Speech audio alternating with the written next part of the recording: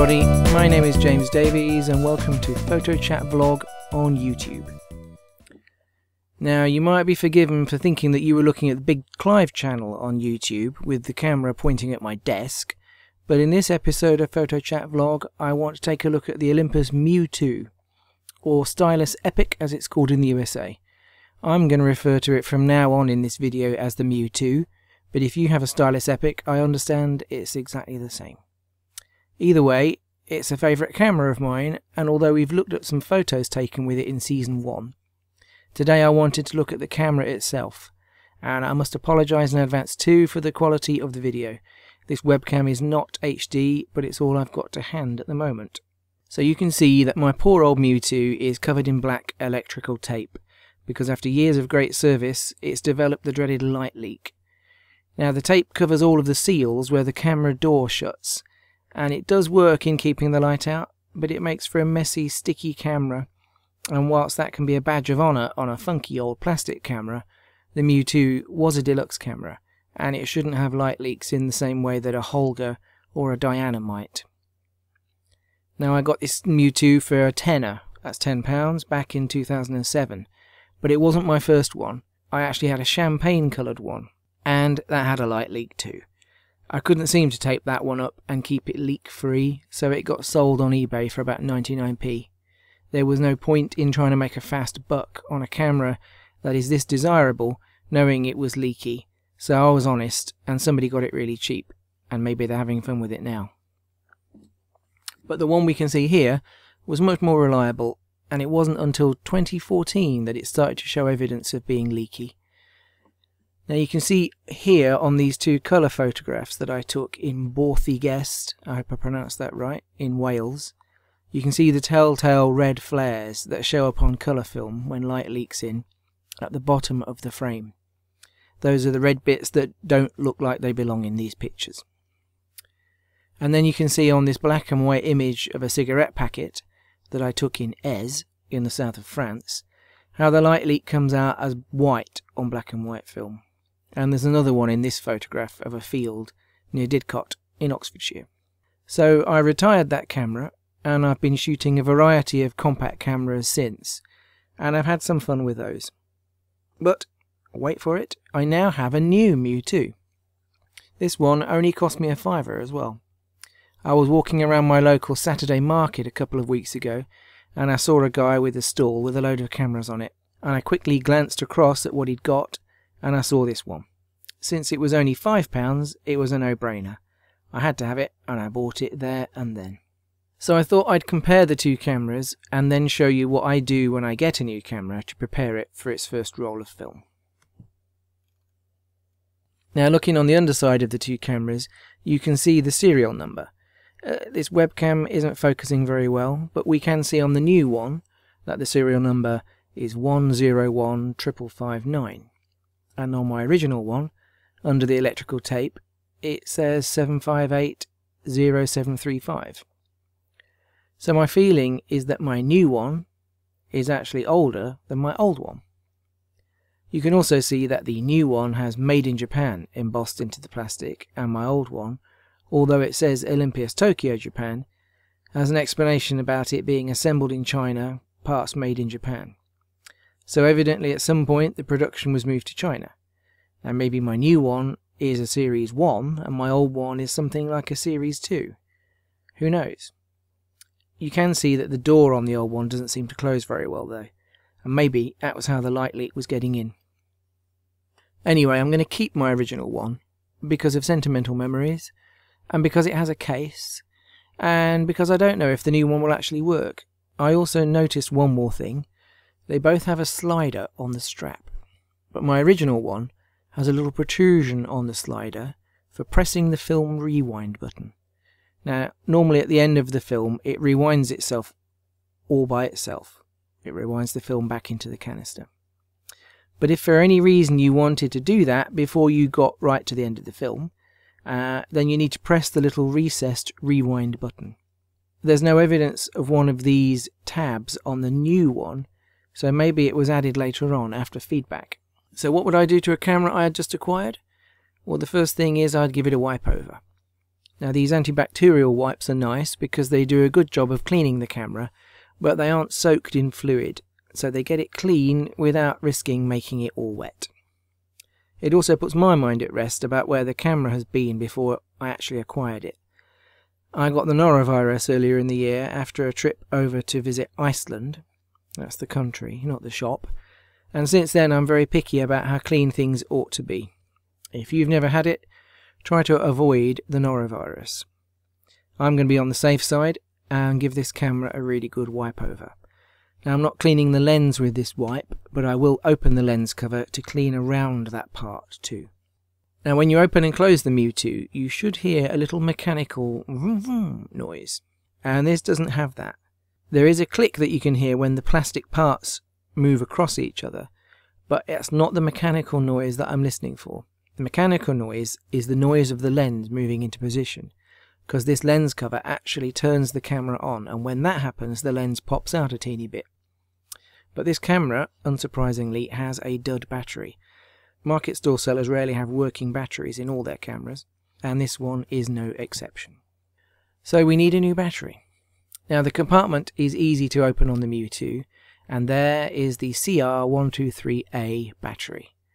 Now again, you'd be forgiven for thinking that this was the Big Clive channel since I'm whipping out my multimeter here. But this should be a 3 volt battery. If we check it, it's actually showing 2.91 volts, which might seem like almost 3 volts, but evidently isn't enough to keep the camera happy and switched on. So we will put that aside as it's a dud, and we'll bring over a replacement. Now you'll notice this replacement is unmarked. I did a bit of a hack to get this battery. These cells are sometimes stacked up in multiples in other types of batteries, and I happen to have a 6 volt battery made up of two CR123A cells. Now I'm not going to tell you how I got the cell out because it involved cutting it with a knife and that was a bit of a mess and I don't want to say cut it here only to find that you sliced the end of your finger off like I nearly did because the knife slips. It can also be hazardous if you cut the case of the cells that make up these sort of batteries. Uh, it could short out, for example, if you do that, and it's really quite hard to avoid doing that until you really know what you're doing. So take it from me that whilst I might obtain this grey cell very much at my own risk, the best way for you to get one of these cells is to obtain the correct CR123A battery, either in a shop or online. So when I test this battery with a multimeter, it's reading 3.09 volts, which is just a little bit above 3 volts, but it's that extra bit which seems to make the camera a lot happier. So away goes the multimeter, and let's pop in the battery. So we close the compartment, and now when I open it, there is our little noise. And you should be able to see the lens pop in and out. So it's working. And on the back, you can see it flashing E for empty, because there's no film in it. And there's also the happy battery indicator. So let's get some film into it. I'm not going to clean the inside, it looks okay to me. These are the rubber seals, and I guess if these perish we might get a light leak, but these don't look too bad. Now, they also don't look too bad on the original one, and that does have a light leak, so I think the light is getting in from somewhere else in the body. Now the Mju II is an automatic camera, so these little pins work with the DX coding on your film to set the film speed in the camera, and we'll look at that in a second but for testing purposes, I'm just going to use Poundland Agfa Vista Plus, which was readily available until recently in a shop here in the UK called Poundland, where most things cost a pound. So sadly, the supply of it in the shops has dried up, but I stockpiled a fair bit, so I'm okay with running this roll through quickly to test things. It is a 24 exposure roll. You might wonder, why not use a 36 exposure? Because processing costs the same regardless, right? But I want to burn through this and get it tested quickly, and although there are only 12 extra shots on a 36 exposure film, it can make the difference between completing the roll and forgetting about the camera because it's been left in a bag or something because you never got to the end of the roll. So I'm happy with getting this one run through nice and quick. Loading it up is pretty simple. You just pop it in like that. And the interesting thing here you can see is that the film is upside down compared to most standard SLRs. So normally the film would be film canister would be on the left going into the right and you can see here that it's on the right going into the left hand side of the camera.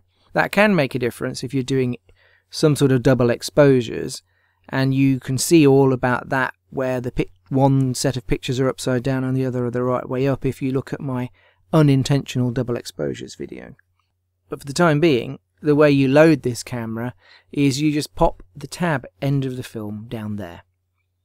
Now, here is the DX coding on the canister, and this pattern means that it's 200 ASA, and it somehow registers with these little pins in a combination which the camera understands is 200 ASA.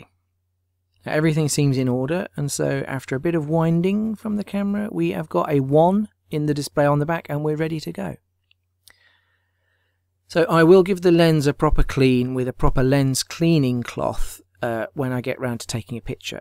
But what I'm going to do in testing the camera is to attempt to take at least one photo each of a distant thing, a nearby thing, a person, a building, something in bright light, something in dull light, something with the flash, something indoors, and something with the self timer.